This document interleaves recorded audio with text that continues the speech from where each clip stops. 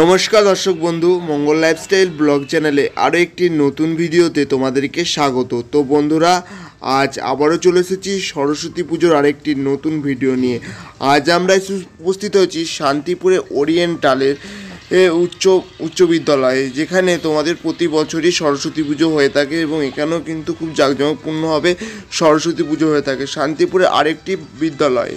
তো বন্ধুরা, আশা করছি ভিডিওটি তোমাদের ভালো লাগবে। তো চলো দেখতে থাকো এবং সঙ্গে থাকো। তোমরা দেখতে পাচ্ছ ইতিমধ্যে ওরিয়েন্টালের গেটটি এবং আমরা ধীরে ধীরে এবার প্রবেশ করব। তো চলো দেখতে থাকো এবং সঙ্গে থাকো।